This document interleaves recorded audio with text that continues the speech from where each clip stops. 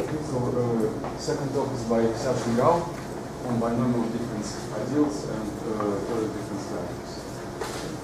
Thanks. Uh, you said, I will talk about the binomial uh, difference ideals and, uh, uh, and the toric difference varieties.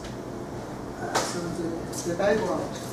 So the toric variety was uh, somehow started uh, independently by several groups of researchers in the 19, early 1970s. And the binomial idea was uh, in the paper uh, of Eisenbud and Sturmfels in 1996. So this theories has deep connections with uh, polytopes, combinatorics, uh, simplex geometry, and topology. Also has a lot of applications in physics, algebraic statistics, coding uh, some talk in this uh, conference, including theory and uh, hypergeometric functions. They also, because they are simple, and they also use as non-trivial examples to illustrate the sometimes very abstract theory of algebraic geometry. So in this talk, uh, we try to develop a similar, similar uh, theory of binomial ideas and uh, varieties in the differential uh, difference algebraic geometry, and hope that they can also in the future play similar role as those in the algebraic case. So I will briefly introduce uh, Z lattice, and then mostly we're uh, talking about Laurent, binomial difference ideal, and toric difference ideal, and toric difference variety. And then finally, a brief, uh, brief introduction to the algorithm. The ZX lattice. So we know that lattice, uh, here uh, lattice is a Z module in Z powerful is a play a key role in the study of algebraic uh, algebraic toric varieties. But in the difference case, here we need Z lattice. Here Z lattice is just a Z module with the entries as vectors uh, of, uh, of univariate polynomials with integer coefficients, the Cx and power of n. So for, for a, a Zx lattice, we have two kinds of representations. We can give, we can give it, uh, we can give the generators f1 to fs. Uh, but uh, more conveniently, sometimes we also uh, write these vectors as columns of a matrix that's F, capital F, which has F1 and Fs as uh, columns. So this is a n times s matrix with entries in Cx. So uh, is not a PID uh, compared to Z. So some of the nice properties used in the algebraic case did not, uh, we did not have it here. For example, uh, a, a Cx lattice is not necessarily free. Uh, also, we do not have an Hermite normal form. These are the two very basic facts uh, used a lot in the study of the algebraic case. So instead of that, instead of this, uh, we have uh, some generalized properties. So for the Hermite normal form, we have this generalized Hermite normal form. I will not give the formal definition because it's a bit complicated. Give an example. So compared to the Hermite normal form, so instead of one column, we have two columns, have the same number of elements, but uh, they have different degrees in X. And here also. So these are what we call generalized Hermite normal form. And we can prove that a set of vectors f1 to fs uh, is a reduced Gröbner basis of a ZX module. If and only if this matrix representation here, like this, uh, is a generalized Hermite normal form. So basically, a generalized Hermite normal form is a matrix form uh, for the Gröbner basis of ZX lattice. So the second factor we use is that, so let's F be a, matrix uh, with ZX, uh, uh, with polynomials as entries. So the kernel, of course, uh, is, a, is a ZX module. It's a free module. That's, that's the key. So we use these two facts. And then uh, Laurent binomial ideas. So in this talk, to make it simplified, uh, simple, a difference, a, dif a difference field f is defined as uh, as a field, ordinary field with a given automorphism from f to from f to f, of course, is f itself. Is a simplified version. f is also assumed to be algebraically closed. For example, the algebraic closure of the rational functions uh, with the shift operator as the difference operator. This is, is a uh, is a difference field satisfying these conditions. And uh, we also use a notation uh, which uh, which is also uh, kind of strange, but is very convenient. For a polynomial, integer, uh, integer polynomial, coefficient polynomial p, we denote a to the power of p as a product of this form. Here the power of xi is used as the degree of the transformation or the degree of the difference operator. And the coefficient ci is used as, a, as the power. And note that c could be negative. Here is an example. a to the power of 3 times x squared minus 1 uh, is basically, uh, this one is uh, sigma to the power of 2a uh, to the power of 3 and uh, over x. The minus 1 is over, uh, over a. Minus uh, is used as a, as Euro sense. So with this notation, uh, monomials, sigma monomials can be uh, neatly written as y, of course, is the indeterminates, y to the power of f. Here f is a vector uh, with the entries in nx. Uh, written that way is the product of yi to fi. So uh, these are the sigma or difference monomials. We, we, we call f the support of this uh, of this polynomial. And Fy as Euler is the difference polynomial. And uh, for the Laurent case, uh, natural, uh, naturally, uh, we replace n to z, and then we have the Laurent uh, sigma monomials with support f, and uh, we use that notation to denote the Laurent sigma polynomial ring. And the binomials, naturally, is a polynomial of two terms a y to the power of g plus b y to the power of h. Uh, g and h are the, are the exponentials and in, in this zxn, they are the coefficients. And uh, because it's a Laurent, it, it, can be easily rewritten as this normal form. Uh, we can uh, put all the all the y's, all the uh, the factors with y in the first term y to the power of f, and all the coefficients to, to, to, to the other term is yf minus cf is uh, very uh, easy, very easily to see that because it's a Laurent. And uh, a Laurent binomial sigma ideal is basically a difference ideal in the Laurent ring generated by binomials of this form. Here, capital I is the index, could be infinite. And later we will show that it's uh, actually finite. So, uh, so a, the first property for Laurent, I will use this Laurent binomial sigma ideal is this. So if I is a proper uh, Laurent binomial ideal, then consider all the binomials in the ideal. Uh, take the exponential f, which is a factor in zxn, uh, which is the element in zxn.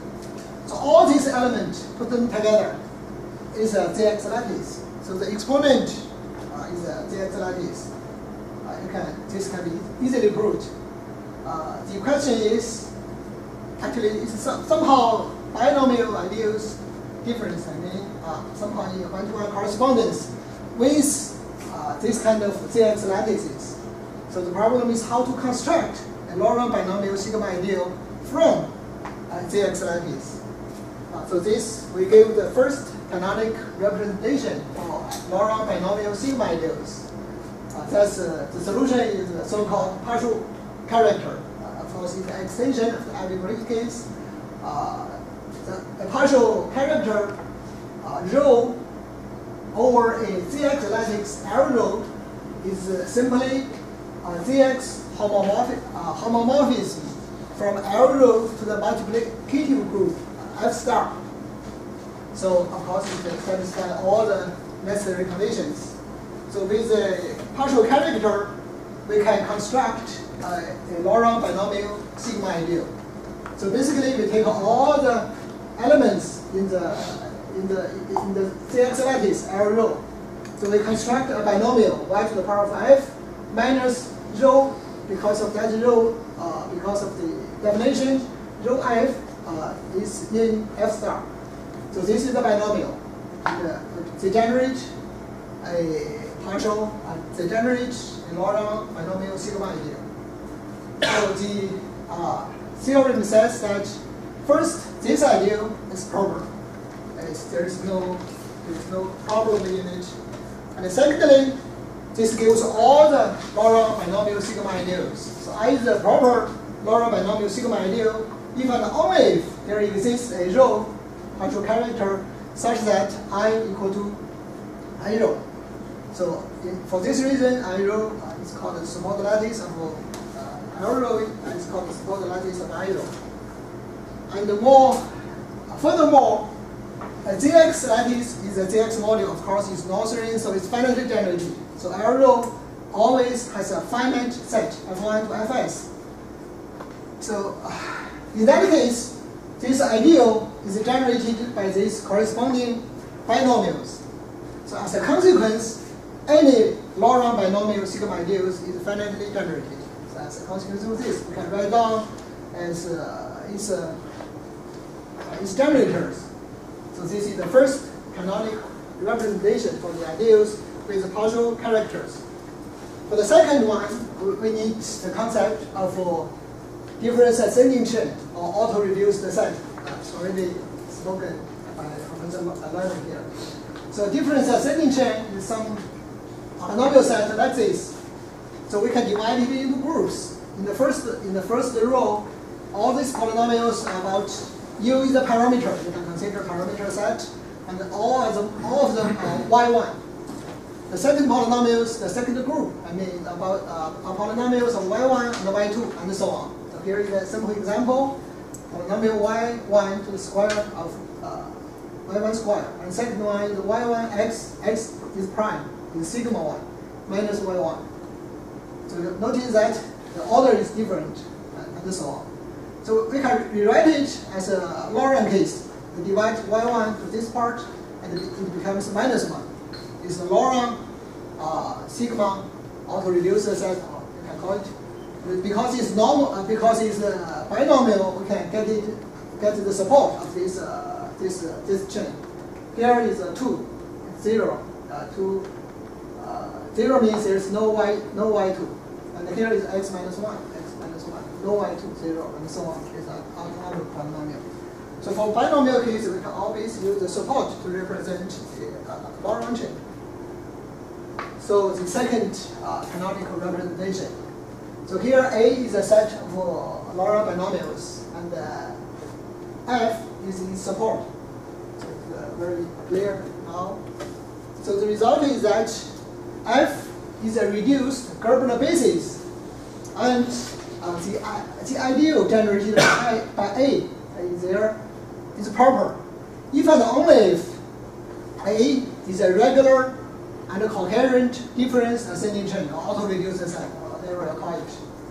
And then by uh, order result, this is equivalent to that A is a characteristic set of the ideal generated by A. So uh, as a consequence of this uh, result, we uh, give another representation, uh, representation.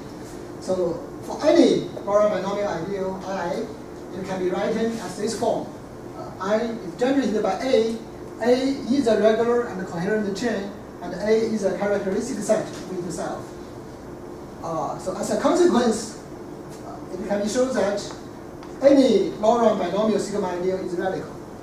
Because, because the chain here is very nice. Uh, it's, uh, saturated, not only regular, it's saturated.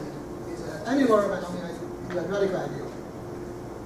So uh, for sigma ideals, there are many other properties like reflexive. Uh, ideal I is called re reflexive. If p to the power of i belongs to a p to the power of x belongs to i implies p to i. And remember, x here is sigma, basically sigma p. And it's called perfect if uh, p to the power of a is any polynomial, is n as a coefficient belong to implies p implies, uh, implies p belongs to a. And this is equivalent with simpler uh, condition. And it's called uh, prime is, uh, is, uh, is the same as algebraic case. So we will give criteria, very simple criteria for this kind of uh, ideals. So first, the criteria for prime and reflexive Laurent binomial sigma ideals. So uh, we will give criteria, criteria in terms of CX lattice. So uh, Z, a ZX lattice L is called Z saturated if for integer A and F is a vector. Uh, if A times F belongs to L, implies F belongs to L. It's called X saturated. If for any F, X times F belongs to L, implies F belongs to L. It's called saturated if it's both X and X, both Z and X saturated. So the result is for any Laurent binomial ideal. Uh, we, already, we already know is can be written as a I rho where rho is a partial character. So the ideal I rho is prime if and only if is support this, L rho is Z saturated. Z saturated. And I rho is reflexive if and only if L rho is X saturated. And of course combine this together I rho is reflexive and prime if and only if L rho is saturated. So give this very neat criteria for ideals to be uh, so to be to, to, to be prime and reflexive. Remember that polynomial ideals are always some computationally difficult, but the ZX modules are somehow very easy. That's that's the that's the purpose. But for perfect ideal, somehow it's more complicated. First of all, I will give this simple example to show that generators of perfect ideals depends on the structure of f. For example, f equal to q uh, square minus 3, and p equal to y to the power of 3 minus 1. So the perfect ideal generated by p could be p plus y uh, to the power of x minus 1, or p uh, y to the power of x minus 2. Instead, uh, it depends on how you define the the sigma, the, the, the difference operator. If it's equal to itself, then it's this case. If it's equals minus uh, square of uh, minus 3, then it's the second case. So this means we need something. We need something in order to have the perfect ideal. And we need this uh, concept, uh, transforming degree. So let's uh, zeta m is the prime m's root of unity. Then, because remember that we assume the, the field are algebraically, algebraically closed. Then that means uh, the sigma zeta m is defined. We can prove that it must be a power of, of uh, zeta m itself. And the power om, and the index, is the integer satisfying these conditions. And uh, for OM, we can prove that y to the power of m minus 1, is the perfect closure is just itself plus y to the power of x minus om minus 1. So this is uh, the om is exists because we assumed f is algebraically closed. But if it's not, then you can define it either this way or this way. So here, uh, for example, here in the first case, om is 1. In the second case, om is 2. That's the n. om, yeah. So with this uh, notation, uh, we can define uh, the concept p saturated, that's the perfect saturated. So ZX lattice is called perfect saturated if it satisfies this condition. So m is the integer, m times f belong to L, implies that x minus om times f belong to L. So this is the, the, the, the concept. So with this, uh, we can prove that if I rho is perfect, then its support lattice must be per must be perfect saturated. The other side, if, if the support lattice is perfect uh, saturated, then there are two possibilities. Either the perfect closure is a, a trivial ideal, or ideal is perfect. This is very special to the to the to the difference algebra. It can only happen in difference algebra. In differential and algebraic case, it does not happen. Here's this very simple example. y1 and y2, they're two uh, variables. So this idea is very nice, is uh, is proper, it supports lattice, it's p-saturated, uh, but it's uh, uh, the perfect closure is uh, a trivial one because these two polynomials uh, connect to each other. This means sigma y1 is equal to y1, and here means sigma y2 equal to minus y2, and the, the, the, the minus and the plus will be conflict. Uh, we'll do factorization. And uh, I talked a lot about, about, the, about the LoRa. Uh, I think I don't have time, so let's skip this part. Uh,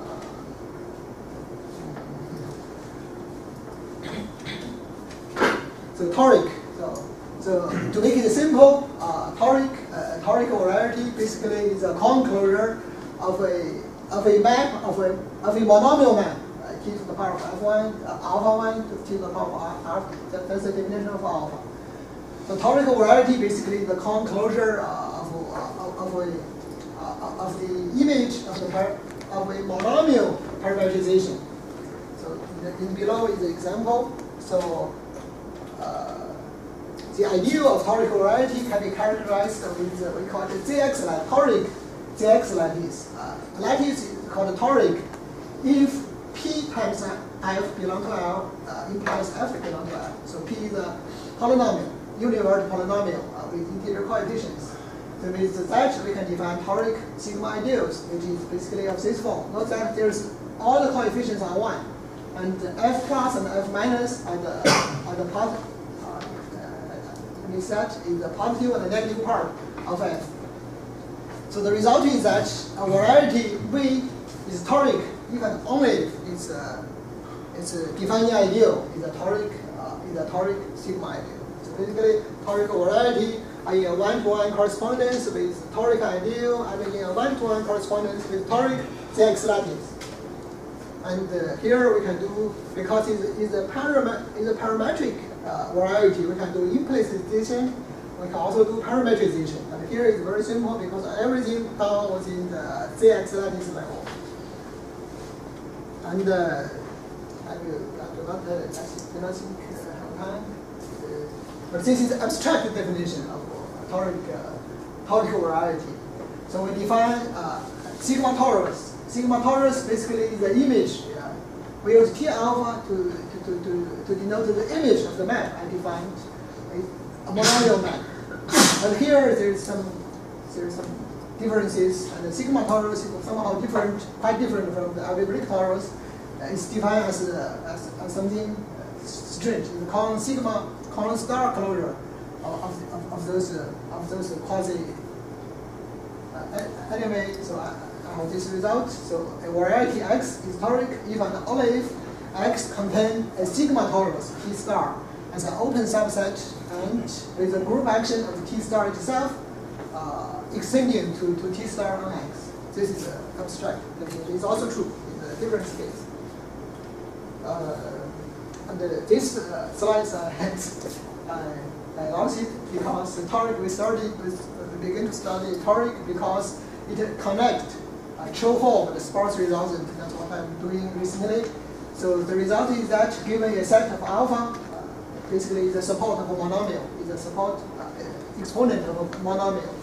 We can show that the sigma Chow form for the toric variety X alpha is the sigma sparse resultant with both alpha So basically uh, the toric variety produces uh, form and sparse resultant. So as a consequence of all this, we can give an order bound for the toric variety. There is an order bound. It's basically the Jacobi number, uh, but uh, somehow somehow different. Uh, so let me go to the algorithm. So the algorithm part is also very simple because I already, already, already showed that properties of the of the the ideals can somehow always be transformed to the to the ZX lattice, to ZX modules. So that's what we done in, the algorithm. For example, the first algorithm, uh, we call it X factor. So the, input is, a, is a, some elements from and, and the output is that if the ZX lattice generated is not saturated, so we will output an H is not belong to L, but x times h belong to L, also a linear combination of those x. And then that means we find something something out, something we factor the x. And uh, with this we can for many applications, that's all we need. We can decide whether the arrow is reflexive and so on. And all the other algorithms are quite similar. Here we find a z vector, and here we find a px vector, and uh, here we find a zx vector. All. Here we find the perfect vector. So plus them together, we can calculate. The properties of Laurent binomial ideals are proved, and the concept of toric uh, sigma ideal is introduced, and its properties are proved. We also give algorithm for CX lattice and the Laurent binomial sigma ideals. So here, here the paper is just out. It's uh, there if you are interested. It's already made public. Thank you.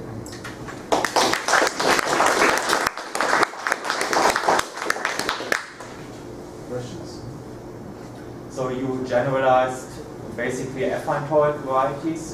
Is, are there projective toric varieties or even more gen general toric varieties? Uh, not yet, not yet. But I, I think a similar theory exists.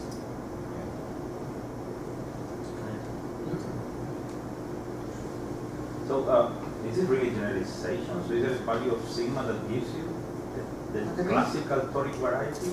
No, it's, uh, I think it's uh, quite different theory in many, in many aspects. And in many aspects, as I said, even for torus, even the definition for torus is quite, uh, is quite different from, from, from, from the algebraic case. Uh, as I said at the beginning, CX is a PI, is not a PID model. So a lot of the work, a lot of the methods used previously does not work here. Uh, for example, for the for the for the for the for the torus, even the de- definition of torus have many twists to, to get the right definition. So in the algebraic case here, at least uh, the, the image of this map uh, is defined as a torus uh, because it satisfies this, this condition. But this is not true anymore in, in the in the difference case. So uh, so we have to redefine the the, the, the, the, the, torus. Also the torus the algebraic torus is uh, isomorphism to, to, to, to A, to the, to the, always to the, to the that space, A to the of uh, A star, uh, M. But in difference case, it's not.